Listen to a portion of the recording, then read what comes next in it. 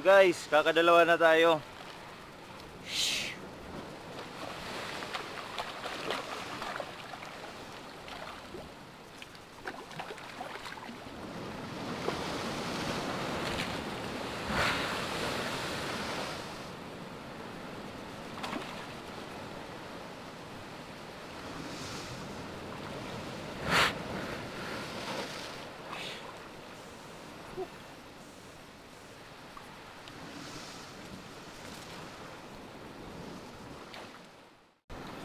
Yo yo yo!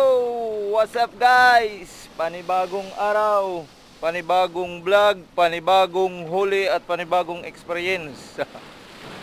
Ah, madalas tayo makahuli pero iba-iba't iba't ibang experience sa atin, iba't ibang anggulo kung paano tayo nakakahuli. So kaya masasabi ko araw-araw iba't ibang experience 'yun.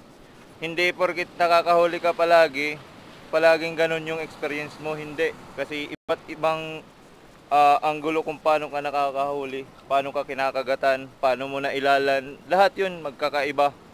Ah, kaya masasabi ko yun, paniba- panibagong araw na experience, panibagong huli, ganyan, panibagong laki.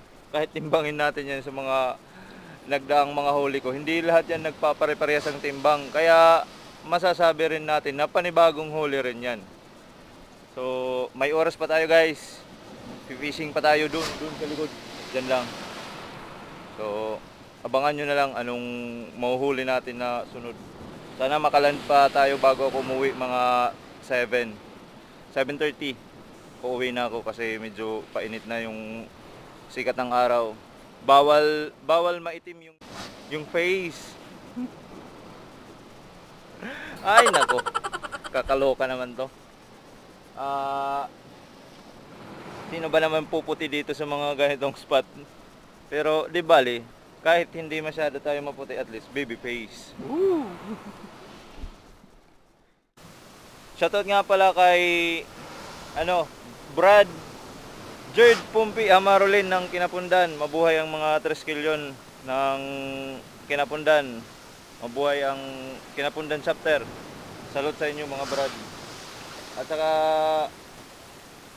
shoutout nga pala kay Brad ah Pipo. Alam mo na 'yon.